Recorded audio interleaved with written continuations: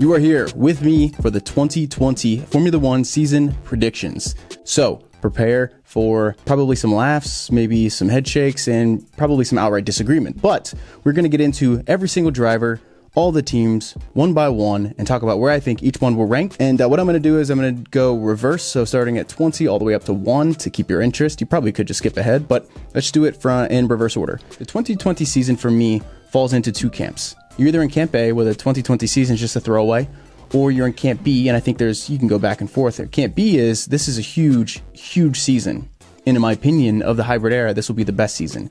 This is the season where the midfield, as we'll talk about, is the closest we've ever seen. And there are major plot lines in the works. You've got Verstappen, he's got a legacy to prove. Leclerc's got one to build. Vettel's got one to protect. Hamilton's got one to extend. Ocon has obviously a chip on his shoulder. I honestly think Kvyat has a chip in his shoulder too. I think that's one to watch. I'm very much in the camp that this is not going to be silly season will be here before we know it, and then we're in 2021. I don't think it'll be like that at all. But let's get straight into it. And starting at number 20, and we might as well talk about 19 as well because they're on the same team. Nicholas Latifi and George Russell. 20 being Latifi, 19 being Russell. This is not a write off year. They need results, and they've had a lot of personnel changes. They are someone on the decline, and it sucks to see them fall like this, but they need results. They've got to change in Robert Kubica with Latifi coming up. I think personally that George Russell is going to trounce Latifi. The place where Kubica was really doing well against George Russell was the first lap. Who has gained the most positions? Statistically, you look at it and it looks like an anomaly. It's Robert Kubica. But then you start to back into the data and it's like, well, he's overtaken his partner who outqualified him every single race. Latifi has his hands full. I think that Latifi, obviously, this is a transition car for him. I think he wants to get into a better car from this role. And obviously, with Russell being under Merc management, he's obviously going to be eyeing the 2021 seat. And I think depending on how this year goes for him, which in my predictions, we'll get to what I think about Valtteri, but I think Russell will be in that seat. It's not like Russell was scoring P19, P20, P20, P19. No, he's got a P12 under his belt. Look for Russell. He's, and he's a rookie. And let's not forget what he did in 2018 to some of these other rookies on the list. I think Russell will be someone to watch. I think this is something that people are underestimating. In P18, we have, and this is one I warn you, you're not going to like Kimi Raikkonen. I know some of you guys are hearing that and going, you're crazy. M- maybe. I think this is the one that if I got two to three wrong, this is a big one. Kimi is the kind of driver that if he doesn't want to do something anymore, he's not going to drive. I think he's trying to figure it out. He was tailing off towards the end of the year combined with the fact that the car got slower over the year. And it's also worrisome that Kimi's contract is coming up. For what I covered and what I saw, Kimi was always talking about the fact that they were losing time and he couldn't really figure out why. I think he's not really going to want to be on the grid anymore. And I think this season, it's not going to be a total waste. I think that 18, while that optically looks bad, the whole grid all the way up to the top three teams will be so jam packed. So I've got Kimi very close to Giovinazzi. Giovinazzi will do better than he did last year, in my opinion. It's the same kind of fears. This car got slower. And it's not particularly good for Giovinazzi because I do think he had a route. I think there was a path for Giovinazzi to actually be in that Ferrari seat next to Leclerc. He'd be the perfect driver next to him. He'd be an open wingman.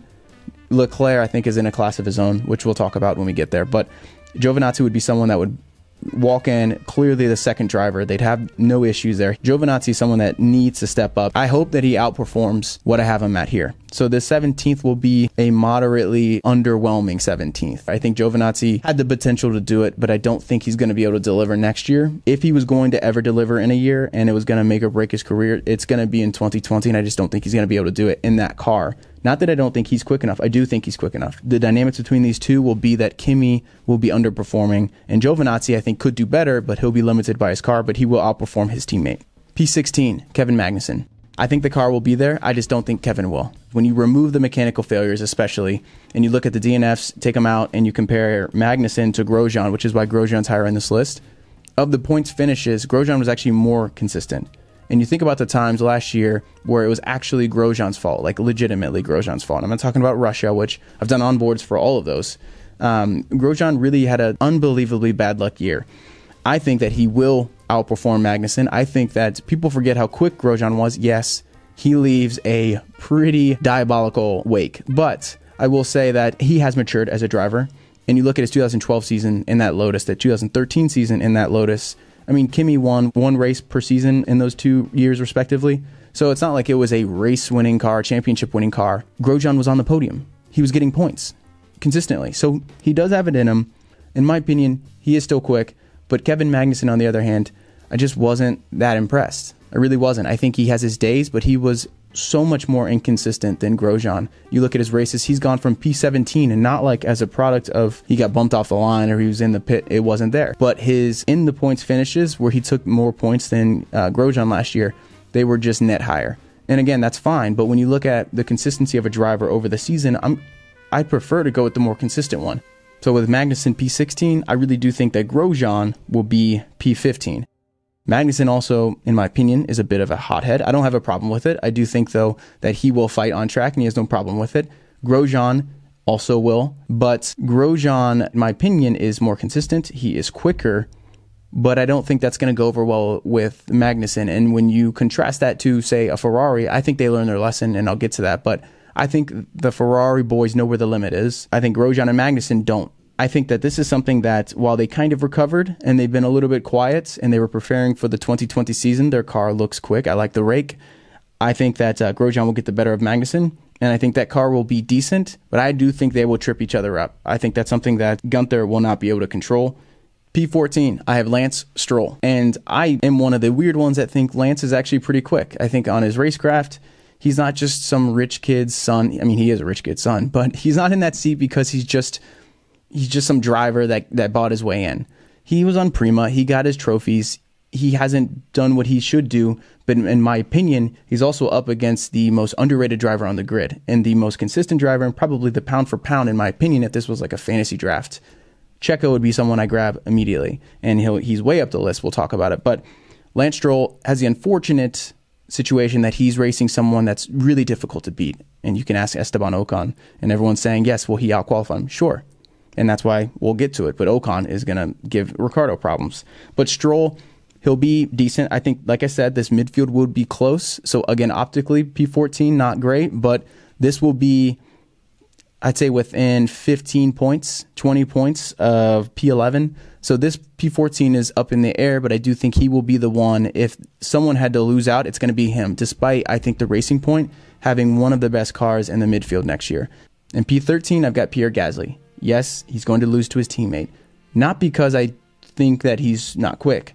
I think Gasly will lose to his teammate solely because Kvyat has a chip on his shoulder. He has something to prove, and I think he's an absolute hammerhead. I think he's a bulldog. If I had to bet on someone in the midfield to get a position that I needed to and they were fighting hard, and especially if it's a toss up between the two drivers and the teammates, I'm going with Kvyat. So that puts Gasly at P13. Obviously, that's going to put Daniel at P12.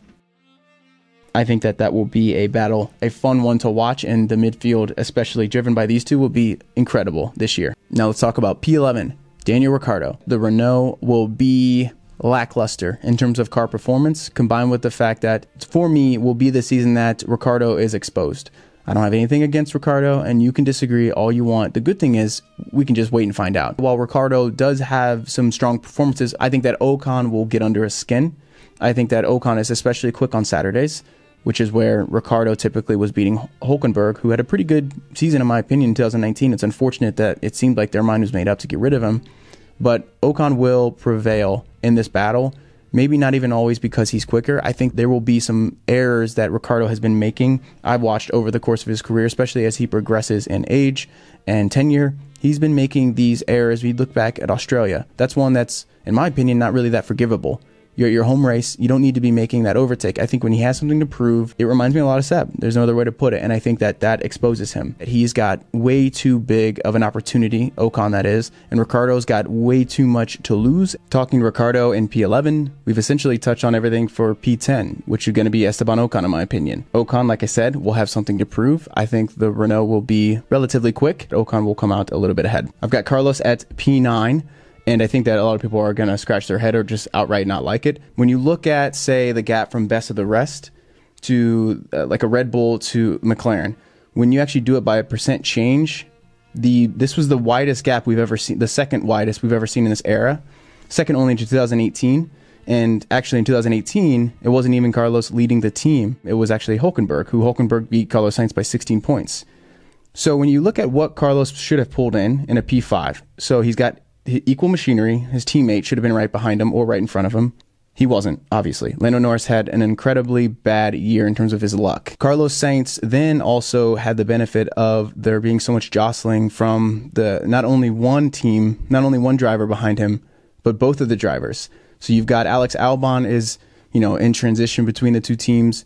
You've got Pierre Gasly in transition between the two teams, both of those kind of upsetting the balance of what they're scoring. Once that gets reconciled, when you see that Lando Norris is, you know, having fairly decent reliability or at least it's parity with his teammate. And then you also consider the fact that not only will Kvyat have a good year, I think he'll have in I think he'll outperform the car and that Gasly's performance will be consistent, Albon will be consistent.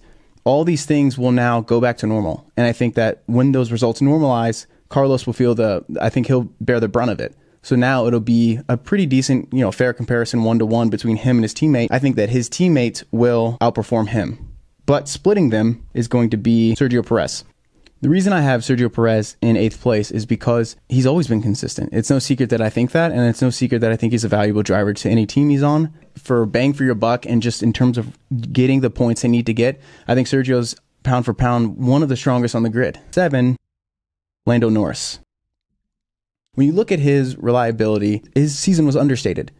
And kind of like Sergio Perez, who scored nine of his last 10 races in the points, we tend to forget it's clouded by the fact that he just got demolished by his teammate in terms of points, Lando Norris did. But all of his DNFs, for the most part, were mechanical, and there's nothing he can do about it.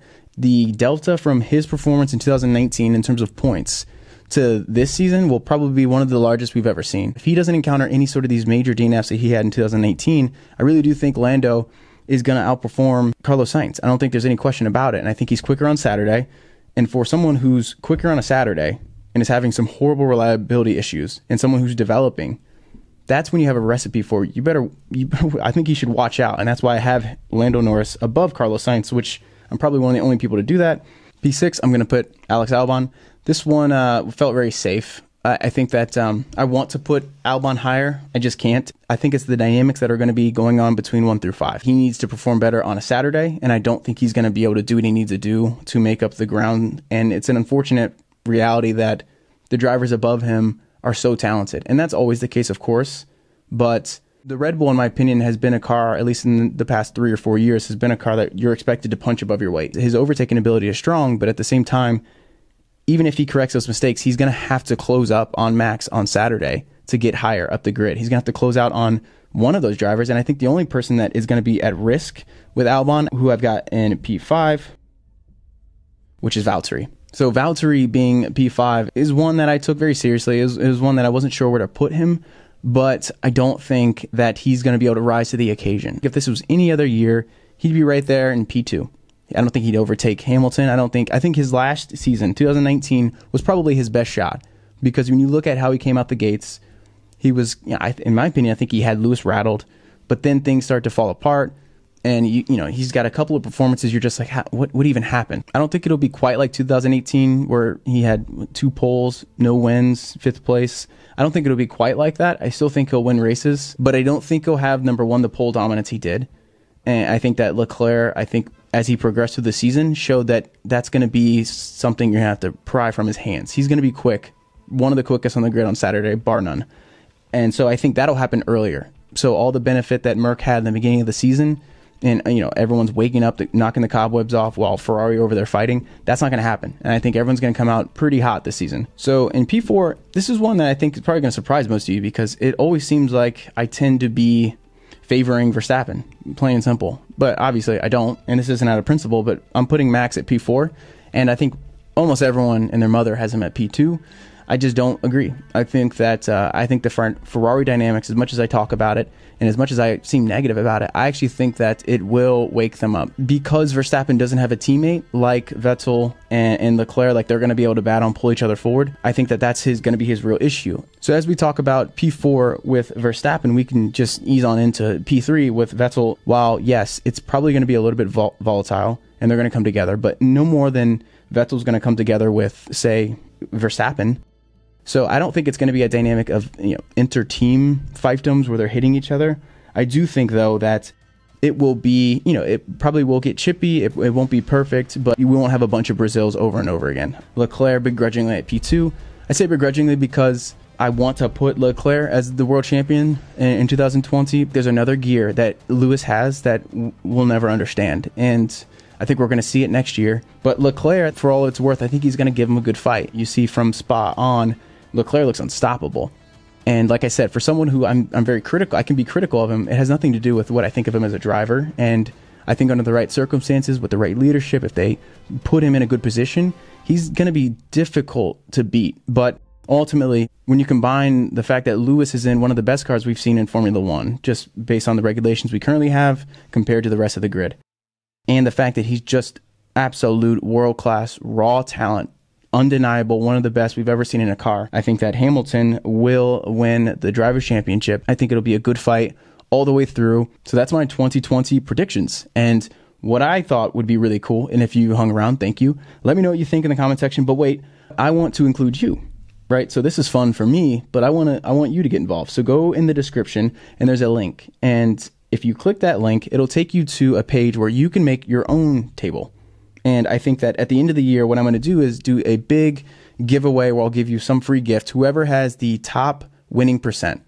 So It'll only apply to anyone who clicks the link and it'll be all your guesses associated with your ID. Once I have your all the results, I'll collect them and then I'll just keep tally and then the winner, like I said at the end of the year, we'll get a giveaway. So go to the description below, click the link and if you want to get involved, you can actually go ahead and make your own table. Otherwise, I hope you enjoyed this and we can all laugh at my predictions. We'll I'll do another video obviously at the end of the year making fun of myself or maybe I nailed it and got it perfect. But we will see. Thank you for sticking around. Hopefully, you like the new setup, the multicam, but uh, this will be a lot more like what you're going to get in season. But uh, yeah, that's my 2020 predictions, and I appreciate your time, and I'll see you very, very soon. Thanks, guys.